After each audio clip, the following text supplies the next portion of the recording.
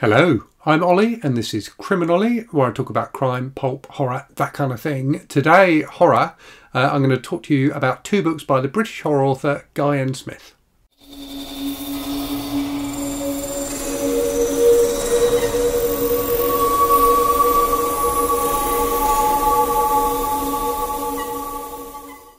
So, Guy N. Smith was a hugely successful British horror author in the 70s and 80s in particular, who wrote very trashy, pulpy, um, you know, short horror books. So he was never as successful as someone like James Herbert, but certainly as a kid and a teenager, I remember his books always being on the shelves of, of bookstores and, and in newsagents and things like that.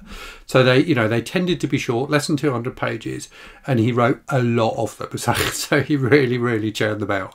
Um, and as a result, for, you know, at one time you could always find his books in, in charity shops. Nowadays, they're much more difficult to come by, um, not least because there's some sort of um, there's something going on at the moment, and a lot of his books, which were in print on Kindle, are now out of print, so they're, they're no longer available. There's only a handful you can get on Kindle, uh, which I think has driven up the price of um, of some of the you know the old paperback copies. I think there is a, a, a like a new wave of Kindle editions of his books coming, um, but but it doesn't seem to be here yet. So I, I look forward to to that happening because I really quite enjoy his work, even though it is objectively uh, often often quite bad. So what I wanted to talk about in this video was was two of his books, his first book and his last book. So his his first book uh, was a book called Werewolf by Moonlight, uh, which was published in 1974, uh, and which I read last month. Uh, and his final book was a book called Beheaded, which came out in 2021, um, so just after his death. So, so Smith sadly died in, in 2020. Um, Beheaded was published in 2021, as I say. And that was co authored with a, a younger British horror author called J.R. Park, who's published a, a, few books on his own, um, and is also, I believe, one of the owners of uh, Sinister Publishing, which is the, the publisher that published that book. So I'm not sure if it was always meant to be co written by the two of them um, or if uh, you know Smith hadn't quite finished the manuscript and J.R. Park you know finished it off after Smith's death. Um, but it was an it was an entertaining read anyway. So that's quite an impressive writing career, isn't it? Forty seven years, so from from seventy four to twenty twenty one. I think there's not that many authors who who have consistently published books um, for as long as that, um, and maintained the quality of those books as well. Now the quality of Smith's books is not great but it is consistent. it is consistent. They are consistently at about the same quality throughout that 47 year period. Um, certainly, all the ones I, have read have been anyway. Um, so let me talk to you briefly about each of the books, and then I wanted to do a bit of a comparison and, and think about how how Smith's writing, you know, perhaps changed over the time, um, and what common themes there were between the two books. So, so Werewolf by Moonlight is a very kind of boilerplate werewolf book. It draws on a lot of the kind of common tropes and things like that you see in in werewolf novels uh, and movies. So it's about a young guy in a rural community in the in the north of England um, who gets bitten by a dog, which, which has in turn been bitten by a werewolf and he gets turned into a werewolf. So there's a lot of stuff in this book about him trying to kind of contain that, trying to, you know, keep himself locked up when there's a full moon and that kind of thing, and, and failing to do so. Um, and there's a, also a lot of the kind of animalistic sex and violence that you often get in, in werewolf stuff. So it, it was a fun read. In common, I think, with pretty much all of the, the Smith stuff I've read, it's at its best when he's doing sex and violence. So violence he does he does pretty well, and he does it well even in this first book. Sex he does quite badly, but in an entertaining way. So the the sex in Guy Smith's books is is always explicit, usually somewhat ridiculous, um, but it's quite entertaining to read as a result it's the bit in between the sex and violence where he falls down a bit and his his plots can be well are, are always very derivative and can be a bit ploddy. Um, uh, but they you know they carry you from from one explicit scene to the next. Um, so yeah so that's werewolf by moonlight. So beheaded um, very different in, in concept, but diff, but but similar in style. So Beheaded is about this this young woman Angela, who's a potter, who lives in a house where a hundred years before um, this guy um, murdered somebody and, and beheaded them, and then committed suicide before he could be hung. Um, and the, the the locals, and again, it's set in a in a small community. The locals believe that this guy haunts the haunts the cottage. Anyway, Angela's husband, who's who's a horrible, like abusive guy, gets killed and beheaded. Um, and it's about um, Angela being interrogated by the police and, and various other things going on as she tries to, to figure out what's happening.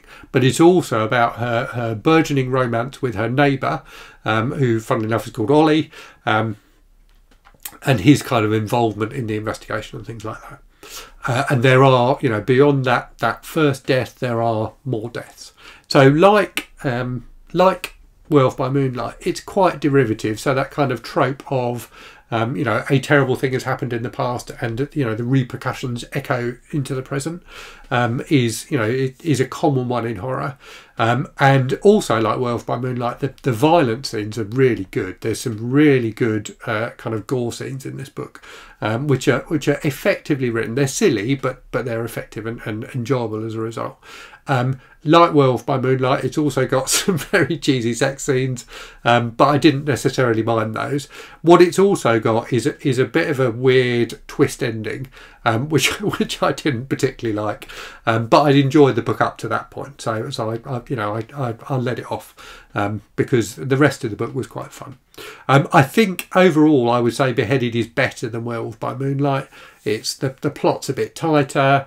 Um, the structure is a bit more interesting because you've got a kind of um, a series of flashbacks um, as this kind of interrogation goes on, so that worked quite well. Um, and I think I, I, don't know if this is Smith's writing kind of maturing over time or if it's J.R. Park's involvement, but just the prose I, th I thought flowed a bit more easily um, than the prose in in Werewolf by Moonlight. So um, I think you know Smith whilst I say he's he's kind of consistently okay throughout his career, I, I think he you know he he refined his craft uh, over those decades of writing.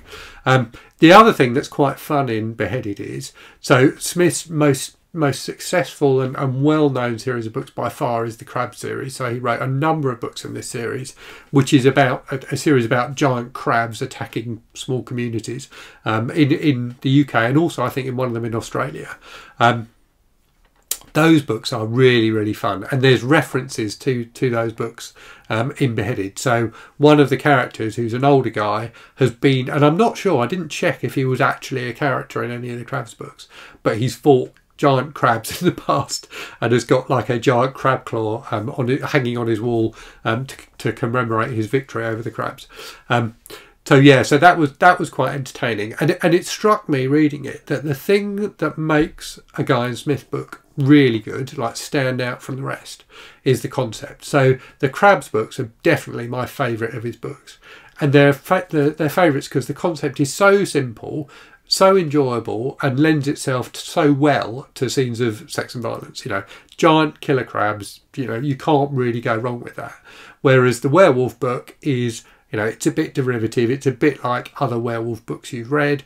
Um, and Beheaded again was, you know, it was the the storyline was fine, but it wasn't as much fun as Killer Crab. So I think Smith is at his best when he's got a, a really appealing concept and just runs with it. Um, in terms of similarities between the books, I've kind of touched on those a little bit, but I think the small town setting is is definitely one. And I think through pretty much all the, the Smith books I've read, that's been the case. He doesn't tend to write books set in cities. He, he focuses on small communities.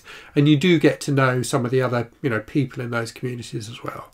Another theme that I think is quite common in his books is kind of marital strife.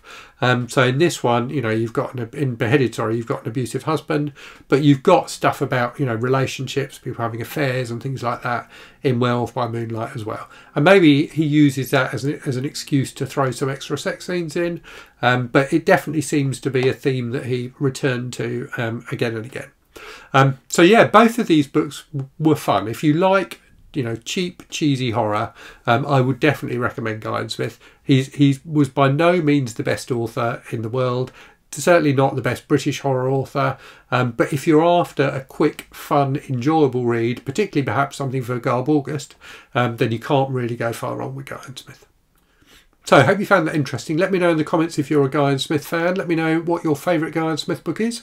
Um, and as always, thank you very much for watching. Hope you're safe and well out there. Hope you're reading good stuff and I'll speak to you again very soon. Cheerio.